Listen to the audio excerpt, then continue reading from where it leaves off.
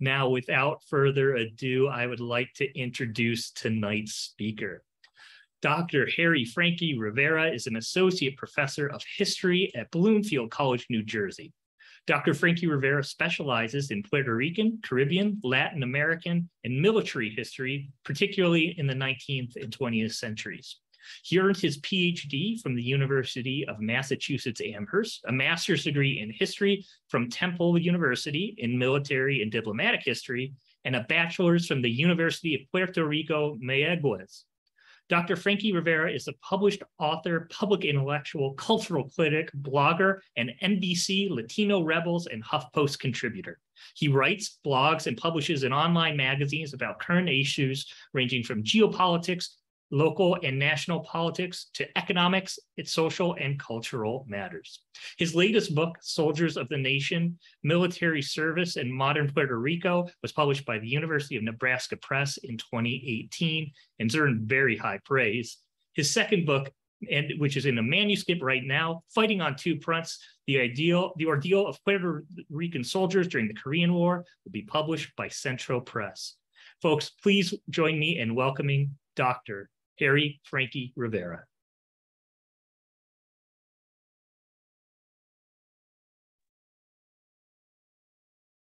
Thank you so much um, for inviting me. Uh, it's, um, it's, it's quite um, an honor um, to be here presenting, um, well, streaming at the National World War I Museum Memorial. So um, I know we are pressed of time. I have a few things to say, so I would like to get right to it in uh, following the topic of uh, World War One changes. This is um, what we're going to address uh, today, right?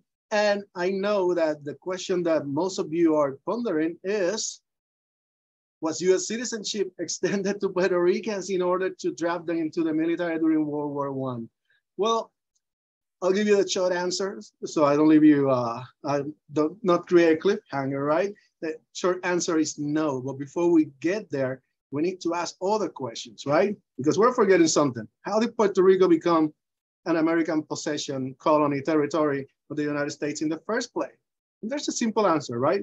Because of the poorly called Spanish-American War of 1898, right?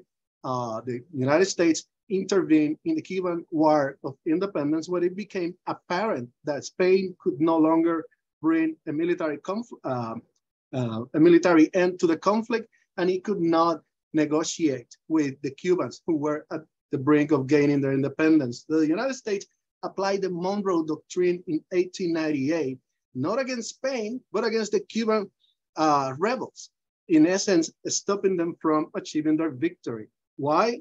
Because US intervention foreign and foreign policy at that time was driven by the belief but the inability of non-white peoples to rule themselves.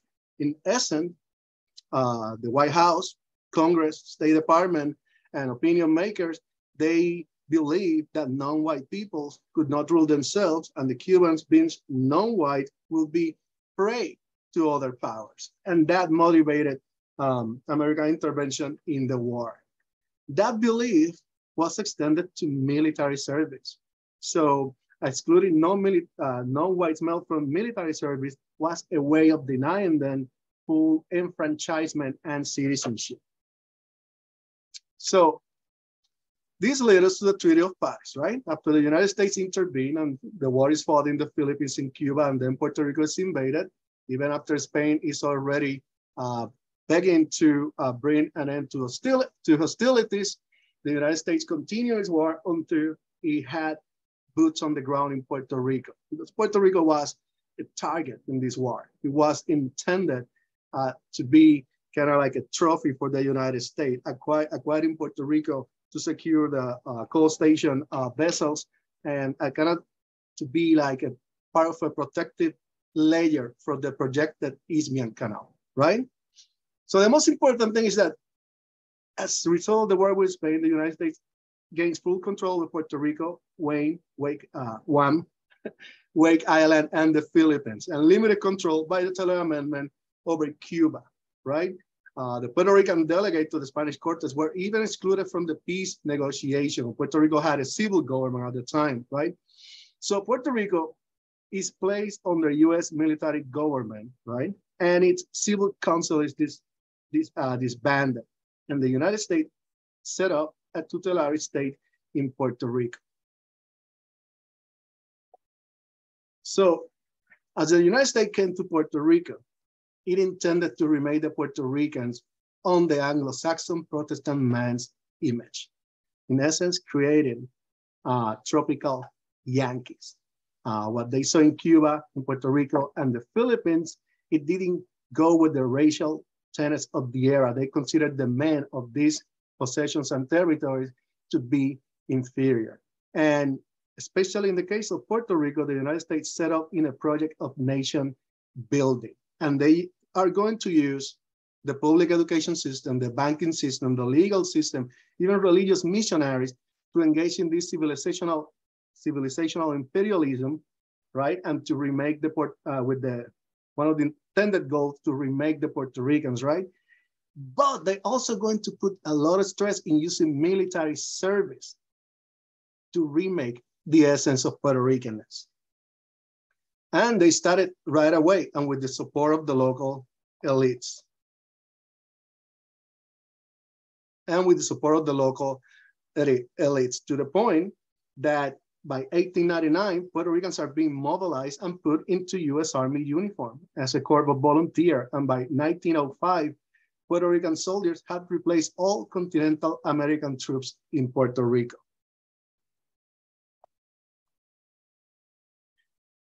This worked so well that that led to uh, the first uh, Puerto Rican uh, Puerto Rican uh, American American civilian governor of Puerto Rico, Elihu Root, to comment on the effect that these men were having, the, the prestige that they're spreading, that they uh, bring loyalty towards um, towards the United States, so on and so forth.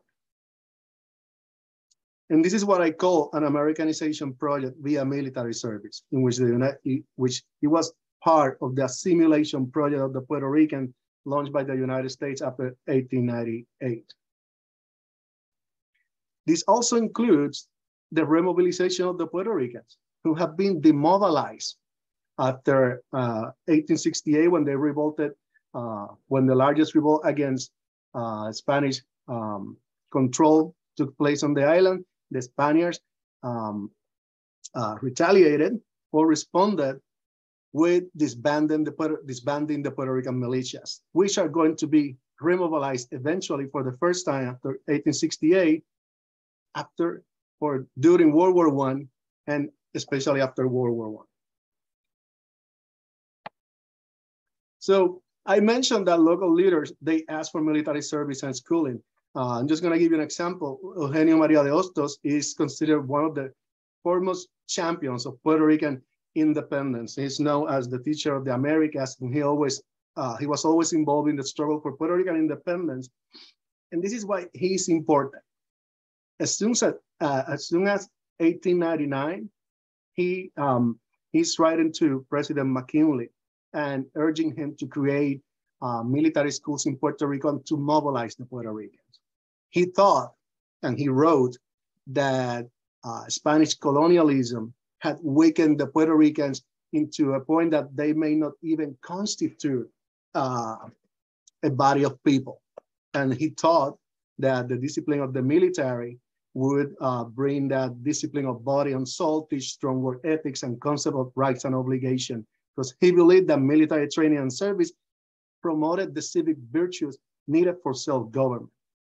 The point that I'm trying to make here is that military service was almost universally accepted, accepted as a rite of passage from childhood into manhood and as a requirement for full citizenship and self-rule. And also, there's so much writing, so much discussion about the mil military service and struggle to exist so a nation can exist.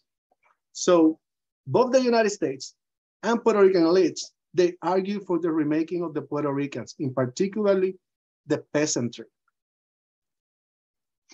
So let's take a look at these two laws, right? These two laws, they have to do with the legal relationship that Puerto Rico um, had with the United States. And the first one Remember that Puerto Rico was under uh, military rule uh, right after the end of hostilities and Spain surrendered the island. First one is Foraker Act, April 2, 1900.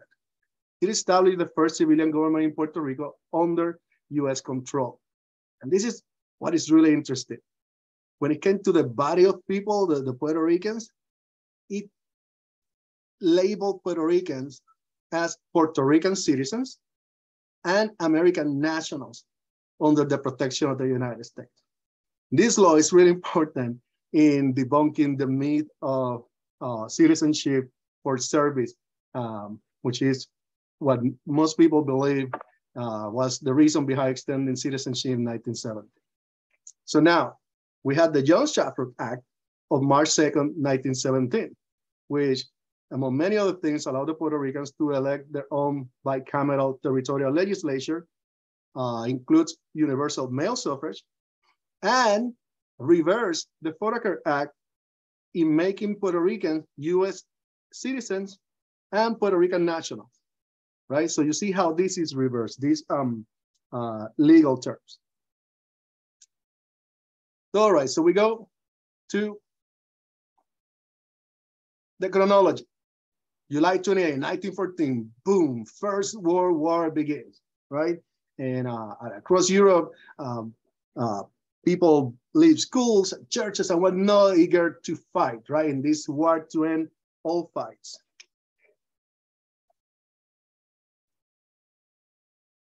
In March 2nd, 1917, the US Congress enacts the Jones-Shafroth Act that I just discussed. Then, April 6, 1917, the United States entered the conflict on the side of the Allies. Boom, right? Um, uh, case closed. We know what's good. Now we know why the United States uh, rushed to give Puerto Rican citizenship, uh, so they could go to war. No, I'm just kidding. So, April 9, 1917, the Chamber of Delegates in Puerto Rico, still in the process of beco becoming a legislature, they offer President Wilson the complete loyalty and support of the Puerto Ricans and volunteers of the Puerto Ricans for the fight. On May 18, 1917, Congress passed the Selective Service Act, excluding the territories of Alaska, Hawaii, and Puerto Rico. And in Puerto Rico, that was taken as an insult. So the now, uh, uh, the Puerto Rican legislature asked Congress to extend the draft to the island, to which the president responded that he will. So Puerto Ricans, even though they should have been included in the draft because they're national and that's what the law calls for, they were excluded and had to request that the territory of Puerto Rico was included in the draft law. This is, um, now let's talk about citizenship because it might seem that they're rushing to citizenship now um, but that is not the case. There had always been ample support in the United States to extend uh, either individual or collective citizenship to the Puerto Ricans, starting with Theodore Roosevelt, who consistently proposed it since um, as early as 1900. He is proposing extending US citizenship to the people of Puerto Rico. Otherwise, what he see as the extension of the empire uh, of freedom would be incomplete. Um, there were projects to extend uh, citizenship to uh, US citizenship to the people of Puerto Rico presented in Congress 1912 and 1913. Uh, President William Howard Taft was completely in favor of it. So was President Woodrow Wilson and the Bureau of Insular Affairs, um, um, an institution created uh, which is similar in mission to the Bureau of Indian Affairs, but to deal with the new acquired island possession, insular possession after 1898. For the first time um, by the 1912, 1913, is in favor of extending collective citizenship to the Puerto Ricans. And Taft's appointee as governor of Puerto Rico, George Colton, uh, he endorses um, giving citizenship to the Puerto Rico, thinking that it would improve the United States image in Latin America. Uh, at this point, Latin America is accusing the United States of imperialism and of having a Caribbean Latin American colony. Um, his successor and uh, um, American appointed governor of Puerto Rico, who was going to lead during the war, Arthur Yager, was even more uh, adamant about this matter. He really wanted, uh, he really pushed um, extending citizenship to the people of Puerto Rico. So what, what are the reasons for extending citizenship in 1917? Well, there is fear of growing discontent among Puerto Rico's population. That's what uh, the White House and the governor, they fear, right? Uh, in Puerto Rico, there's a radical wing um, emerges uh, within the dominant political party, and they demand independence under an American protectorate. Then there's the creation of the independence and the socialist parties, which underline the social political unrest festering in Puerto Rico. Um, I'll give you an example from the American Review of Reviews um, that make clear how the discontent uh, festering in Puerto Rico preoccupied um, political leaders in the United States. And I quote, the interest of our own country and Puerto Rico demand this perpetual connection, meaning Puerto Rico cannot be let go. It's too important uh, militarily and strategically. It is for Congress, therefore, to make the people of this tropical isle reasonably satisfied with our rule, for the star and strike cannot permanently weigh over a discontented and rebellious people. So their thinking is that extended citizenship is going to diffuse the political unrest. And they were right. The military reason for citizenship really important. The US War Department considered that stability on the island was essential to secure US hegemony in the circum-Caribbean. And they're thinking this because they counted with discontent against Spain in 1898 when the United States invaded uh, to facilitate the invasion and winning the campaign in Puerto Rico. And that happened. And now they fear that if the United States found itself at war and a country like Germany planned an invasion or a blockade, not that they could, that a discontented population may side with the invading force. So the military support citizenship for the same reason as uh, political leaders are doing it, to bring stability and secure the loyalty of the Puerto Rican. Citizenship also, right, it has its foreign policy and diplomacy uh, uh, impact, right, context. Woodrow Wilson, they believe that they would get a lot of diplomatic clout from granting citizenship and some measure of self-government to the Puerto Ricans. Why this goes along with Woodrow Wilson's um, uh, new diplomacy, right? And his ideas of uh, self-determination of nations, uh, which is part of his plan to end uh, the war in Europe with a diplomatic solution. And on December 7, 1915, this early, he made clear to Congress that as part of obtaining international credibility, both for his own policy of bettering relationship with Latin America and for his new diplomacy, the United States had to approve the, Just, the Jones Act, expanding the civilian government in Puerto Rico and extending US citizenship to its inhabitants. Because that would, in his view, make Puerto Rico not a colony, but a part of the United States. Was there any opposition among Puerto Ricans to US citizenship? Yes, uh, there was some, and there's a memo from uh, the Chamber of Delegates uh, rejecting citizenship. But the main reason for rejecting this citizenship, that initial bill from 1914, is that it didn't include universal suffrage, which would disenfranchise uh, a, more than half of uh, more than half of the people who otherwise would be available to vote, right? And then the Puerto Rican representative to Congress, Luis Muñoz Rivera, and his party, they understood that U.S. Citizen, U.S. citizenship for Puerto Rico could have a diffusing effect when it came to the political tensions.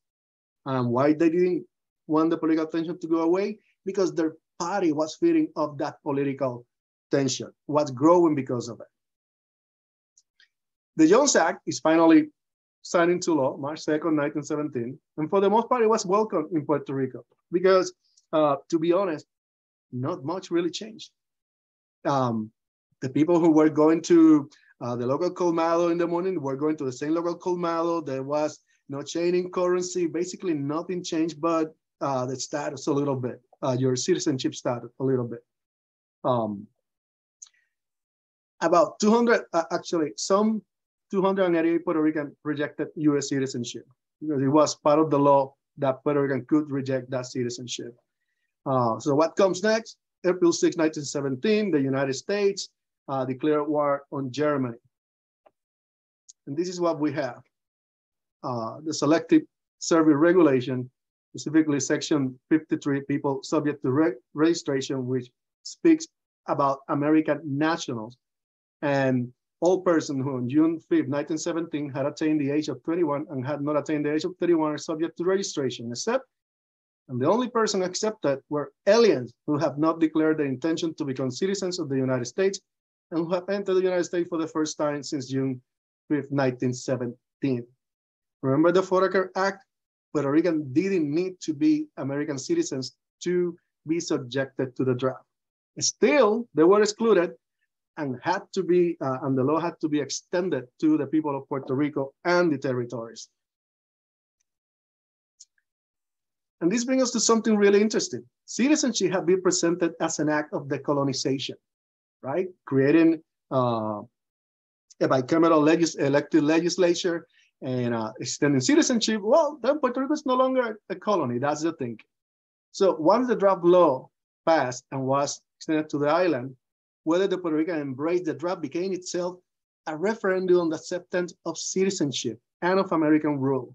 And whether the Puerto Ricans supported the war effort and raised for the draft became itself a referendum on their new status and citizens as US citizens and proved that the United States did not have colony.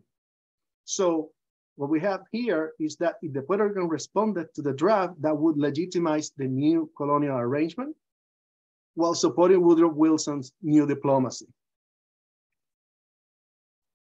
So now we have the Puerto Ricans were demanding access to military service. Why? There was a tradition of military service uninterrupted, uninterrupted by Spain and restarted by the Americans when they, right after they invaded. Service was linked to manhood and manhood was linked to political power. So the socialists the Republicans seeking statehood and the Socialists were seeking statehood too. And the Unionistas who wanted autonom- somewhere, somewhere autonomous and some were separatists, they all supported the effort because they thought that the collective participation of the Puerto Rican, not only being part of that remaking of the peasantry, it would advance their own political goals. There were also economic incentives, remaking the peasantry into uh, into a more productive man. And this in, in this utilitarian term is how it is presented. All factions embrace um, uh, embrace service as a modernizing and enfranchising mechanism. There was some opposition to military service, but it was weak and it was uh, really, uh, really marked more by their silent than by outspoken opposition. So even separatist leader of the st statue of uh, Nemesio Canales, Jose Diego, and Luis Llorens supported joining the war effort. Why? Because this is the war to end all wars. And at this point, um, military service is seen as a almost universal rite of passage from boyhood into manhood. So July 1st is the first registration date, and over 104,000 Puerto Ricans registered for the draft. And eventually two, over 236,000 men, they're going to register for selective service. Now think about this. This is um, mostly agriculture island with few roads, fewer cars, and not um, a great number of, of passenger train. So to mobilize and register all these people in one day, that is a logistical feat. And it happened because the Puerto Ricans were involved, not because the United States military or the or, or the or Governor Yager put a lot of effort into it. It was the profi- uh, it was the Puerto Rican middle and professional class that spread the word and make sure that people went to the centers to register. And this, just imagine doing anything with 104,000 uh, people any day now. Now think about 1917 agrarian Puerto Rico. There's going to be about uh, almost 18,000 men ordered to report for service, and only 139 did not report for duty. 139. Whereas in the United States, uh, you have uh, the military invested in going after draft dodgers. Uh, in Puerto Rico, you have the opposite. The Puerto Ricans are being uh, are volunteering to have their numbers called, and they are being rejected at a rate of over 70%. Um, this is what Jagger is going to um, say about that first day, registration day. Um, and, and, I quote, the, patriot, the patriotism of the island has been stirred and intensified by America's entry into the Great War, as shown by the eagerness with which the people responded to the recent draft. Puerto Rican as eager to get into the big war game as any other class of citizens under the Stars and Stripes. So um, um, thing is um, uh, Freudian slip, but kind of um, including as any other class of citizen, highlighted the fact that the citizenship Puerto Rican got at that moment wasn't a first-rate uh, citizenship.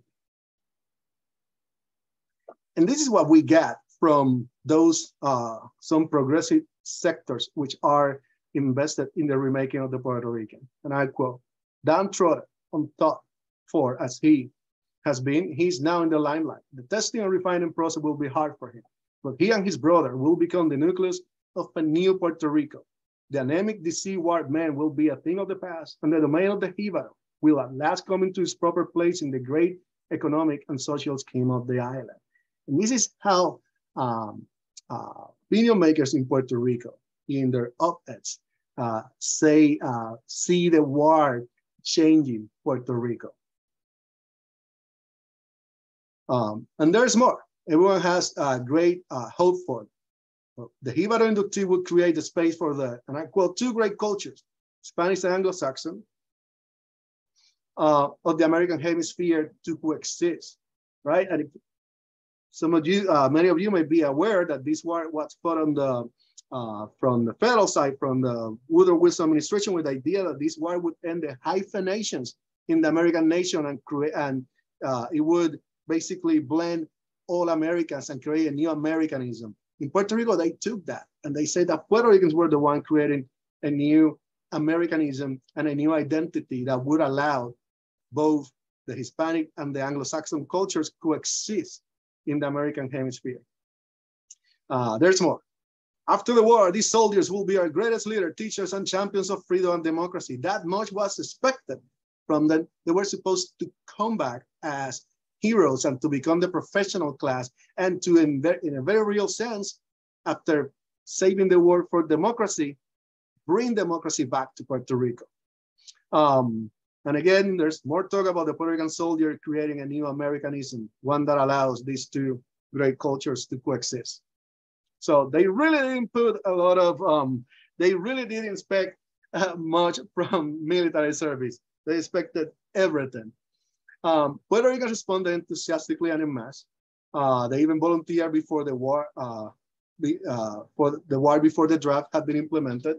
So the Jagger administration and pro-Metropolis newspaper argue that the popular sectors, the hundreds of thousands of Puerto Ricans registering to serve in the military had decided their allegiance and the political status of Puerto Rico.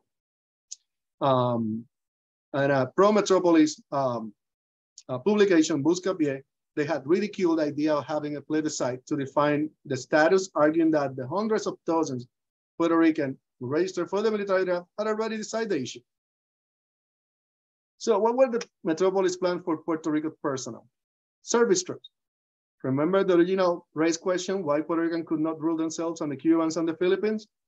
Well, this is, a, and remember that Puerto Ricans were not wanted in the military. Puerto Ricans are going to be used just like as African American to free white troops to do the real fighting. This is how it's written about, this how it is explained. So the role of the Puerto Rican troop is to be subordinate, uh, is to be subordinate to labor, lest their equal participation undermine the rationale behind American imperial expansionism, which is the inability of non-white males to rule themselves. and military service, uh, not being able uh, to perform well as a soldier, uh, not having um, military prowess, it, it used to be uh, it used to be presented as an example of that incomplete manhood of non-whites. And this is what Frank McIntyre, the chief of the Bureau of Insular Affairs, which is in charge of Puerto Rico, uh, what he writes about. Um, uh, Governor Yager, he fought for Puerto Rican to be trained in Puerto Rico as Puerto Rican units, not to be disbanded throughout the National Army and the federal unit. Um, so after much back and forth and much pressure, much pressure from the Puerto Ricans, so the Puerto Ricans are trained as units, uh, wanting to get them out of the island and that they could prove themselves as Puerto Rican unit. Uh, they were trained in Puerto Rico. A whole division was trained in Puerto Rico. And this is what Frank McIntyre, the chief of the Bureau of Insular Affairs, said. Um, he said that the training uh, would make them the Puerto Rican better man on returning to Puerto Rico, physically and otherwise. This, even though they should not go abroad at all for service. The military, even after the president intervenes, so a Puerto Rican division is created and trained in Puerto Rico, the military is dragging uh, uh, their feet. They don't want to train the Puerto Rican. They don't want to mobilize the Puerto Rican when they're forced to do it. When they're forced to training, uh, they cannot find where to train the Puerto Ricans donate the land so the camps can be built. Puerto Rican make the training camp happen so their soldiers can raise, so Puerto Rico can raise a division. And still after all, all that effort, the military doesn't want um, doesn't want to use the Puerto Ricans in combat or to even let them leave Puerto Rico. So still, over 20,000 Puerto Ricans served during World War One. Uh, the first one is the Puerto Rican Regiment created right after 1898, that, that it traces the beginning to 1899. It's going to be sent to Panama, but it's sent to Panama, not because the Germans are going to attack Panama, it is because that would free the white troops in Panama to go and do the real fighting in France. The 94 Infantry Division is going to be composed of four Puerto Rican regiments. And uh, uh, not Puerto Rican nationalist leader, Pedro Albizu Campos, is going to be, um, after completing his army, uh, his officer training camp in Puerto Rico, is going to assign to that 375th Color Puerto Rican Regiment as part of the Puerto Rican contribution to um, the National Army, the Puerto Rican contingent to the National Army, which is how it came uh, to be known. Uh, home guard, Guardia de la Patria is created in Puerto Rico, uh, just in the unlikely case that the Puerto Rican division was ever sent overseas.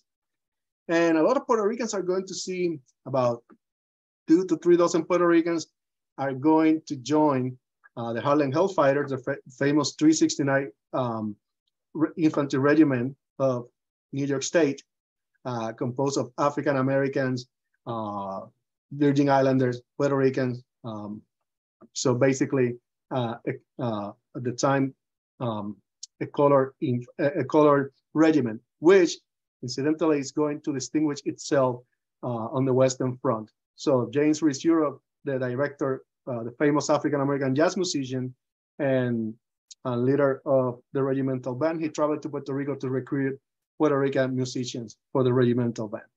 And there were also dozens of Puerto Ricans who traveled to the French Caribbean um, uh, to join the French Legion as early as 1914 to uh, save France from the Huns, because there's a strong um, uh, presence of people of French ancestry in Puerto Rico.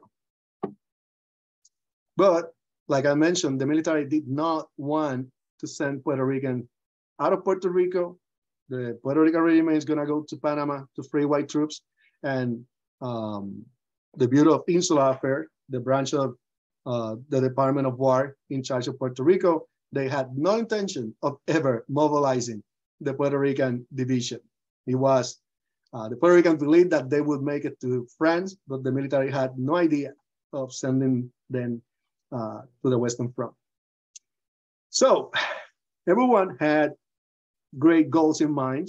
right? Including uh, Wilson. He thought that, uh, well, his new diplomacy and Puerto Rico played a very important part in this, right? Saying we don't, we no longer have colonies and we have a plan to, uh, for the Philippines to eventually be on its own, right?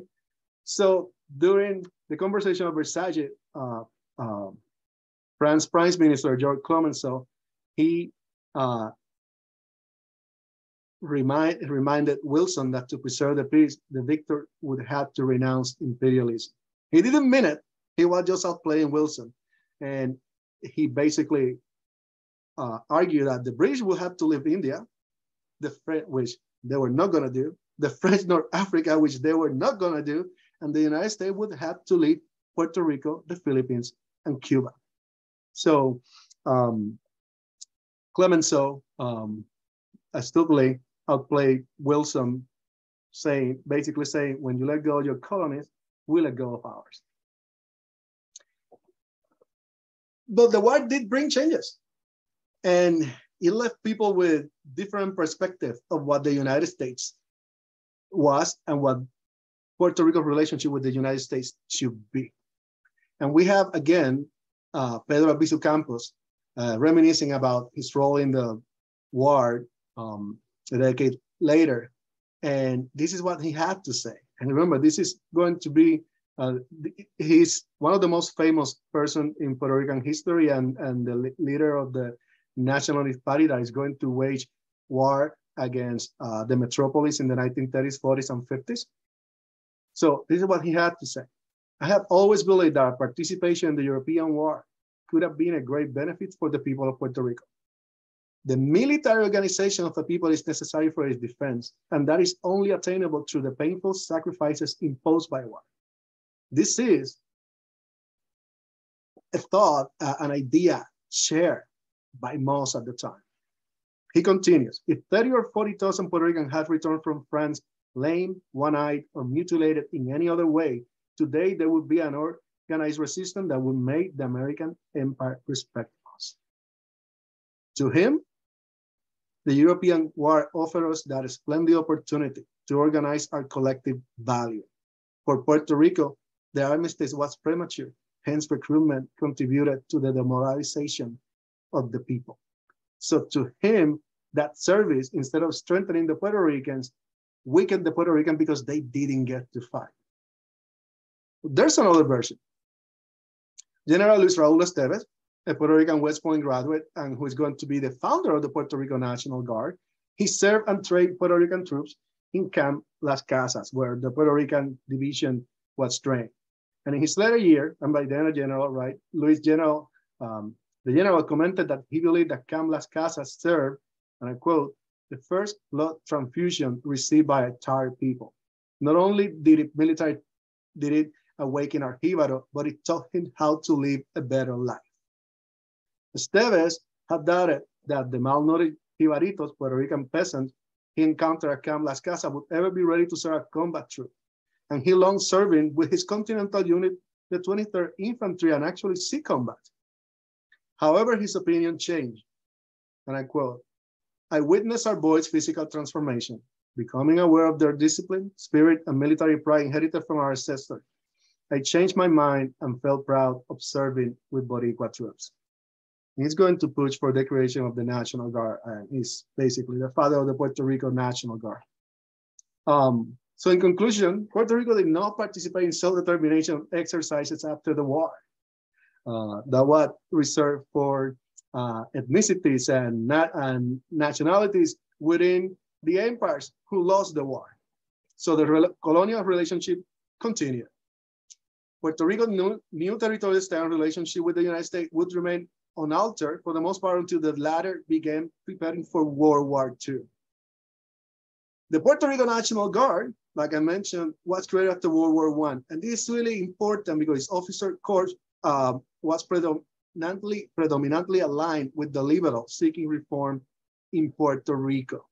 And eventually those leaders, um, those officers who are leader in the civilian sector too, are going to ally with the World War I Puerto Rican veterans who, uh, after the 1944 GI Bill passed, are remodelized once again to become part of the army of technocrats and technicians who are going to build modern Puerto Rico. It didn't happen at that moment, but eventually, even these World War I veterans are going to be uh, integral in, uh, really important in the making of modern Puerto Rico. Thank you.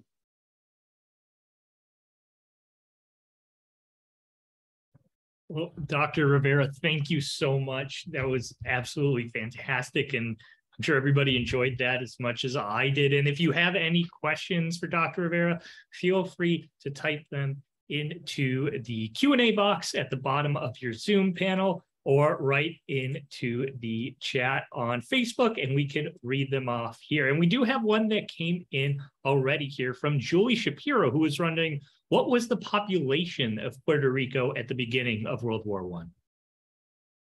I? I think that Puerto Rico had reached um, what's close to um, 1.2 million people. Actually, it was more than that, about 1.6. So that brings us, you raised a really interesting point earlier about uh, members of Puerto Rico, uh, people from Puerto Rico, excuse me, serving with the Harlem Hellfighters, the famous 369th Infantry Regiment. What was the uh, general view of the United States and the United States military towards Puerto Ricans joining segregated regiments? Because you also mentioned that some Puerto Ricans served in white regiments. What what was the the general view? It was it was the understanding of the United States government and the military that there were um, white Puerto Ricans and black Puerto Ricans, and um, they had different views of who was white and who was black.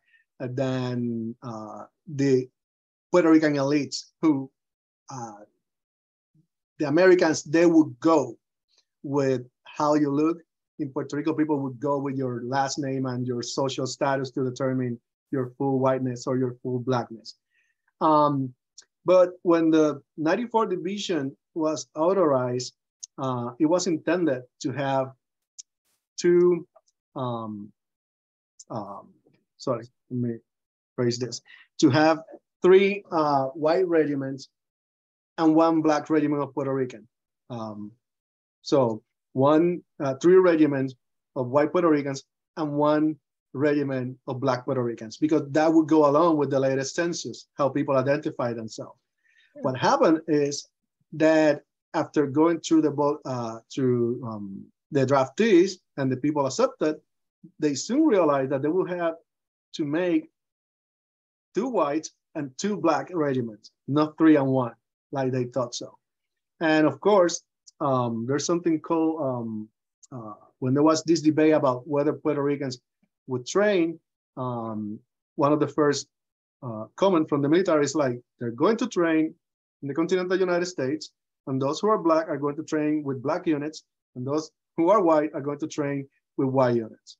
Eventually, the Puerto Ricans fought so there, there would be a Puerto Rican division, the 94, still segregated in Puerto Rico, and that had always been the case, even under Spain. And the Puerto Rican regiment, which is going to become the 65th Infantry that goes to Panama, was mostly uh, a white Puerto Rican unit, or I could say entirely white Puerto Rican unit. And it was the only Hispanic or Latino, well, at that time, Hispanic segregated. It was intended that regiment, which it wasn't part of any National Guard or um, or a volunteer uh, or a volunteer formation. It was a standing army, a federal unit of the United States Army in its uh, rules and regulation. It was meant for Puerto Ricans, uh, uh, Puerto Ricans, and continental officers. So if you were a white person, you could not be uh, assigned as an enlisted man to the 65th. You had to be Puerto Rican. Yeah. White officers would be assigned to the regiment because they led the Puerto Rican troops. Fascinating. It's a really an interesting history and something to delve in more. Is there any particular story or first person account from a Puerto Rican in World War One that you would recommend people read? Actually, I've been trying to find um, the things that, um, well, uh, Rafael Hernandez, who was recruited by um, uh, by James Reese Europe to be part of the regimental uh, band of the Harlem Hellfighter, the 369. He went to France and he uh, developed even more his musical training, yeah. and he wrote a lot of uh, interesting uh, reminiscences about his time in in France, and a lot of his uh, early hits they're gonna come from his experience in France. So our next question comes to us from a teacher, and she was wondering if teachers in the continental United States could be teaching this in a different way. What would you encourage them to be reading, or how would you encourage them to be teaching Puerto Rican history? Hmm. Well, I would like to say that um, um, I would like the history of Puerto Rico, especially in 1898, to be approached as part of the American experience. Um, because um, at first there wasn't much of Puerto Rican history taught or the history of Puerto Rico that was taught. It was that Americans came and Puerto Rican were, yeah, woo, and then they got their uh, the status that they have now, and it's been peaceful. Then we have a counter story of Puerto Ricans always in arm and fighting up for uh, for independence and and uh, you know like the harsh boot of American imperialism on their neck. And neither of those are true. Not even close. Not even close. There's there is a story of cooperation, right, uh, uh from the Puerto Rican elite but also the mobilization of the masses was more important in Puerto Rico. The mobilization of the masses through the public education system, through the military, was really important in cementing uh, American influence and altering the development of Puerto Rican nationality and culture itself. This is un, un, undeniable. So that's how I approach it. That's how I would like uh, to teach it after 1898, we need to see the struggle, we need to see the cooperation, we need to see um, that sometimes colonialism has unintended consequences. And by that, I mean that by mobilizing the Puerto Ricans to gain, uh, to in, in a way, to actually secure their presence on the island, and by granting them more rights and even mobilizing them more, even when they didn't want to use them, they kind of ended up enfranchising Puerto Ricans, who then grew kind of attached to Puerto Rico. Or during World War II, the military expenditure in, in during World War II to make Puerto Rico an unsinkable battleship from which to deter any aggression coming from Europe before the United States is there. Uh, it made Puerto Rico heavily dependent on that on what came with that military service. And a good example of this is uh, the GI, the GI, the GI Bill um, in 1944. About 48% of American veterans, continental, mostly white, they make use of the GI Bill benefits to study, get houses, uh, vocational training and whatnot, right? And because of that, the GI Bill is recognized as a game changer in the history of the United States, the maturing of the middle class, right? That boom.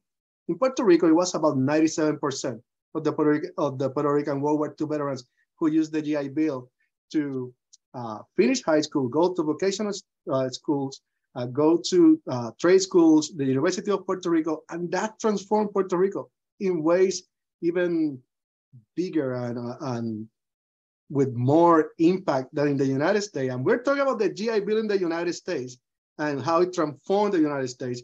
Now imagining the new government of Puerto Rico with a new political formula using that military service, uh, the military benefits of the veterans to remobilize them after the war and giving them a purpose, which is to rebuild modern Puerto Rico. That's amazing. So you see how it gets. Just those numbers, that is fantastic to think about if it's say the it's there's so much uh, interesting history that's worth digging into, and I would highly point folks towards uh, Dr. Rivera's book as well um, to explore this some more. And I, I would add too that uh, with your talk about soldiers from other wars, World War II, Korea, Edward Schaefer was wondering if there were any Puerto Rican units that gained any commendations or unit citations. I know you mentioned the 65th Infantry, um, and I believe you're working on a, a, book on them in the Korean War right now. Well, in this war, no, none of them gain uh, gain uh, combat decoration because they were not sent to combat. But the 65th uh, eventually is going to, um, uh, well, a few years ago, it received the Congressional Gold Medal.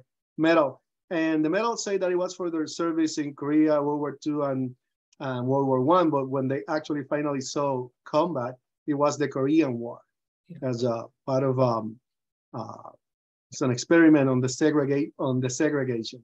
Yeah. Uh, this case, and this time it's ironic um, because when that Puerto Rican unit is desegregated in Korea, it's done in the form of a punishment, and the Puerto Rican people didn't really want their beloved Puerto Rican regiment, the 65th, be integrated with American troops. They wanted that regiment, that federal regiment, that U.S. Army regiment, to continue to be Puerto Rican at least until the war ended, because um, integrating the regiment in the middle of the war after losing two battles was seen as a punishment for losing those battles, like losing honor and prestige. And in while African Americans are fighting for integration, Puerto Rican were fighting for their um, Puerto Rican regiment not to be integrated with American troops. So you see, it's complicated what happened because they mean different things. For the African American community, segregation meant that they would never have uh, uh, have equal treatment and, and uh, in, in, the battlefield. That they had to excel every single time because the first time they failed, that will become their norm, right? For Puerto Rico and their regiment and being there represented the colors of Puerto Rico fighting alongside the United Nations for to defend democracy for the world. That's how the Korean War was sold in, in Puerto Rico. So we have time for one more question. And this one uh, references someone you talked about in the presentation. Uh, this attendee, first of all, says, excellent presentation. And could you comment more about Albizu Campos' motivation to become a Puerto Rican pro-independence leader? Was that sh shaped by his First World War experience? Yes, there is some uh, people who knew him at the time and who uh, saw him as uh, someone who was pretty pro-American, studying in, in even stu studying in Harvard, and was um, uh, a person who was pro-American. He actually tried to volunteer uh, as soon as the war, um, uh, as soon as the United States got in, and he was told, if you want to fight, go to Puerto Rico. If you want, and just enroll like anybody else. And eventually, he goes to an officer training camp. And I think that um, he realized his blackness in service and the limit that blackness put to his ascension within the United States. And that because of that, he became disillusioned with the United States.